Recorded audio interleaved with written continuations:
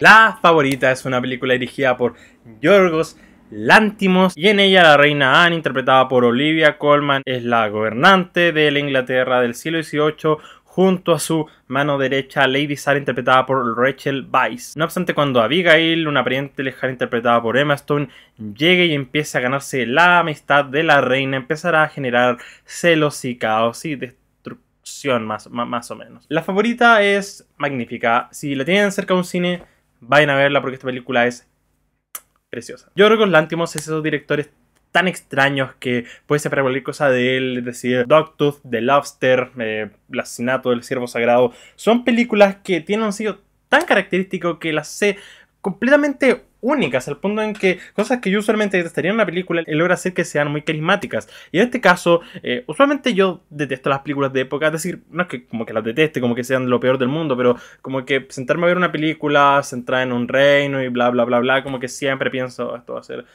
muy aburrido. Sin embargo, él hace que la comedia fluya tan incómodamente y majestuosamente que wow, adoro lo que él hace con esta película en términos de comedia, porque toma todos los tropos de las películas de época y los torna de forma muy ridícula. Y no como que este sea un filme de parodia, así como que esté parodiando las películas de época.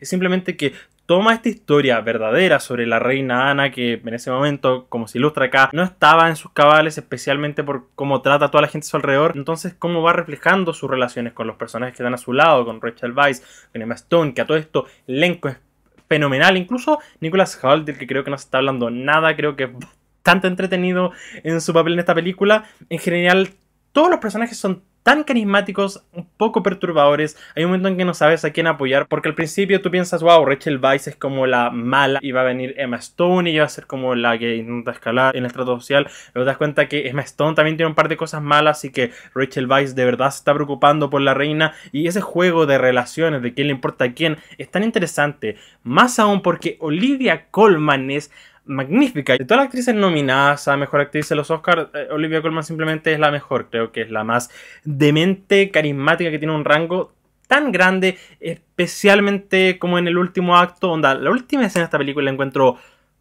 ¡Wow! Magnífica. Adoro todos los simbolismos. Yorgos dirigió esta película más que la chucha. Y cuando digo eso, me refiero a que hay tanto de él en este filme. Hay tanta identidad en cada fotograma de esta película y tanto simbolismo que va mucho más allá de simplemente ser una historia estándar sobre celos y sobre subir, bajar, traicionar. Adoro la fotografía y la edición que tiene este filme, todo lo que tiene que ver con diseño producción, incluso la iluminación, no pensé que estaría alabando iluminación esta película, pero de verdad se ganaron sus aplausos en todo el sentido estético, porque tú te compras este lugar completamente, las dinámicas, y tiene cierta ridiculez que es algo trágica, de hecho. Me encanta el diálogo del filme, es algo que es bastante interesante en las películas, y creo que esta es un poco más realista que sus dos previas, en el sentido en que en las dos previas de repente tienes personajes dando como un delivery de diálogo que se veía algo irrealista, pero que era parte como de el sello de esas películas. En este caso creo que es algo más realista, pero gracias a que el diálogo es tan entretenido, tan exquisito, no pierde ese ritmo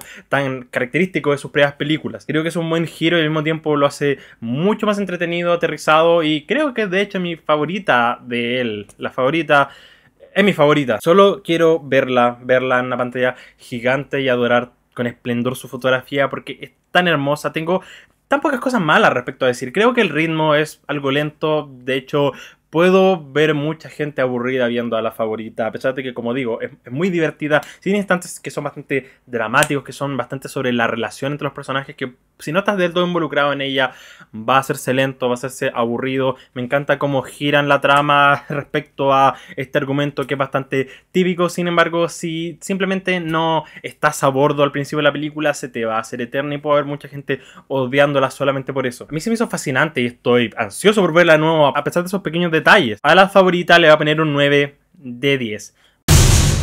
Va a estar definitivamente en mi mejor del año, estén esperando eso, porque ya la próxima semana voy a ir con la lista de lo mejor del año, van a poder ver eso y saber dónde cae cada cosa, cuáles son mis películas favoritas. Uh, y eso, díganme, ¿cuál es su favorita? ¿Es la favorita? ¿Qué opinaron de la favorita? Pueden en los comentarios. Y si les gusta este video, no olviden dejar su me gusta, compartir, seguir en redes por supuesto suscribirse a baja frecuencia. Porque tenemos una buena semana.